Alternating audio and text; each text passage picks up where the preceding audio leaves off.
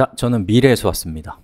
무슨 말이냐면 제가 그 수업을 쭉 만들면서 그 공부하시는 분들 보니까 좀 막히는 부분들이 좀 있고 되게 불편할 수 있는 부분이 있어가지고 어, 여러분이 이제 곧 경험하게 될 문제를 막기 위해서 제가 미래에서 와서 수업을 여기다 낑겨 놓고 있는 중입니다.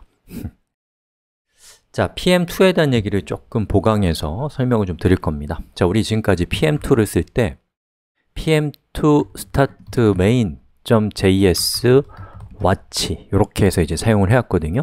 네, 이렇게 되면은 이제 실행이 됐는데 백그라운드로 우리 몰래 실행되고 있기 때문에 지금 어떤 상태인지 알 수가 없어요. 그래서 pm2 로그를 통해서 로그를 보면서 우리가 어, 했었잖아요.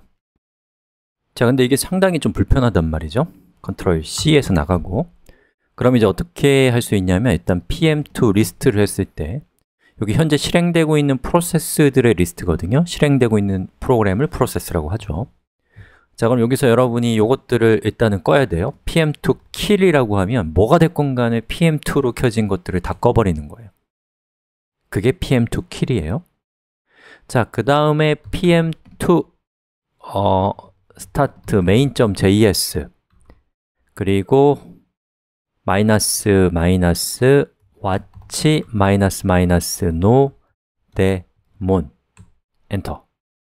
이렇게 하게 되면은 자, 우리가 끝에다가 daemon을 추가했거든요. daemon은 데몬이 아니다라는 뜻이에요. 데몬은 백그라운드로 실행되는 프로그램들을 데몬이라고 불러요. 그래서 데몬이 아닌 상태로 실행되게 했다라는 그런 뜻이겠죠 자, 그럼 이 상태에서 그 뭐 에러가 있다거나 예를 들어 한번 우리 요 main.js 초입에다가 콘솔 로그 hello no daemon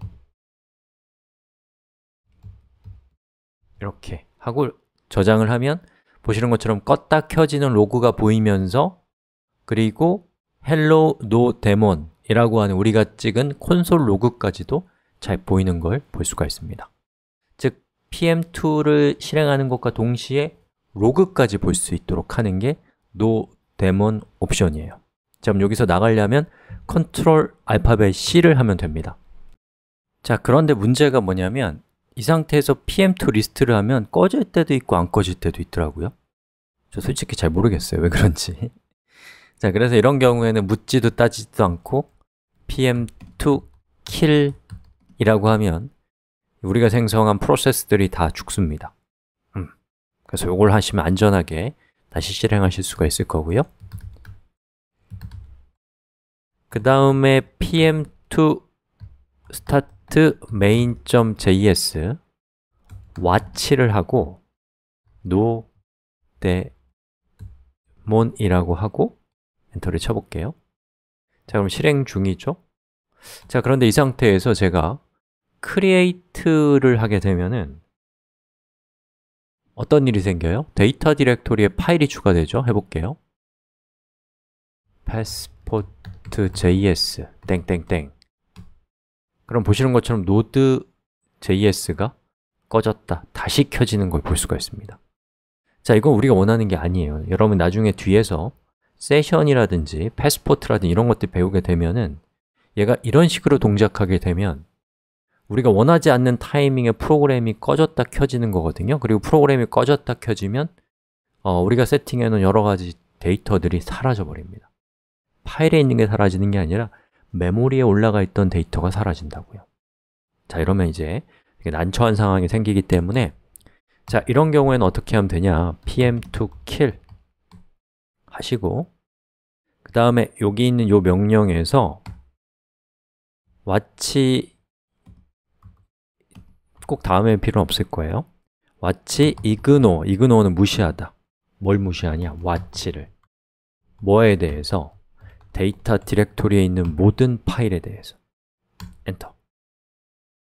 자, 이 상태에서 제가 파일을 한번 추가해 보겠습니다.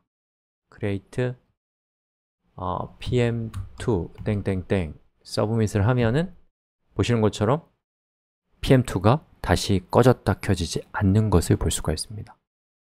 음, 그래서 나중에 여러분이 수업하면서 어, 파일을 수정하거나 파일을 추가하는 어떠한 기능들이 들어가는 경우에는 제가 지금 말씀드린 요 이그노 와치를 통해서 꺼졌다 켜지지 않도록 해주세요. 혹시 꺼졌다 켜지는지도 확인해 보시고요. 안 그러면 여러분이 기대했던 거는 다르게 동작할 수 있기 때문에 되게 난감할 수가 있어요 그리고 만약에 여러 개의 디렉토리를 여러분이 관리해야 된다.